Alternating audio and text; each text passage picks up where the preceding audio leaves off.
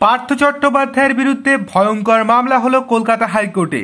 মামলা করলেন বিজেপির রাজ্য সভাপতি সুকান্ত মজুমদার।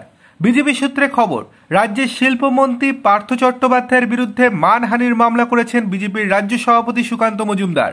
সুকান্ত মজুমদারের স্ত্রীর বদলি সংক্রান্ত ভুল তথ্য দেওয়ার অভিযোগ এই মামলায় পঞ্চাশ কোটি টাকার মানহানির মামলা করা হয়েছে। সাত দিনের মধ্যে এই টাকা দিতে হবে পার্থ চট্টোপাধ্যায়কে। যদিও এই বিষয়ে সুকান্ত মজুমদারের কোনো মন্তব্য বা বক্তব্য সামনে আসেনি। বক্তব্য পাওয়া যায়নি পার্থবাবুরও। সূত্রের খবর এক সময় মালদায়ের একটি স্কুলে চাকরি করতেন সুকান্ত মজুমদারের স্ত্রী কোয়েল চৌধুরী। পরে তিনি বদলি হন বালুরঘাটে। এই বদলি সংক্রান্ত বিষয় নিয়েই বিতর্ক শুরু হয়।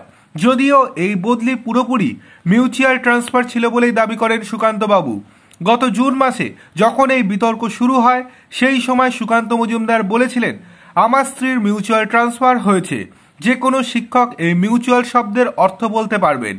দুঃখের বিষয়, পার্থ চট্টোপাধ্যায় এমন একজন শিক্ষামন্ত্রী ছিলেন, যার শিক্ষা ব্যবস্থা সম্পর্কে কোনো রকম ধারণাই ছিল না। এখনও হয়তো নেই। তাই তিনি অর্বাচীনের মতো কথাবার্তা বলেছেন এবং বিজেপির বিক্ষুব্ধদের কাছে ছড়িয়ে দিয়েছিলেন।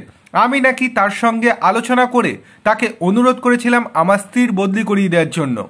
সেই জন্যই বিজেপির বিক্ষুব্ধ নেতারা আমার নামে মিথ্যে রটনা ছড়িয়ে দিয়েছিল চারদিকে। আর সেই জন্যই এবার পার্থ চট্টোপাধ্যায়ের বিরুদ্ধে কলকাতা হাইকোর্টে মামলা করলাম। এবং শুধু মামলাই করলাম না, পঞ্চাশ কোটি টাকার মানহানির মামলা করেছি আমি।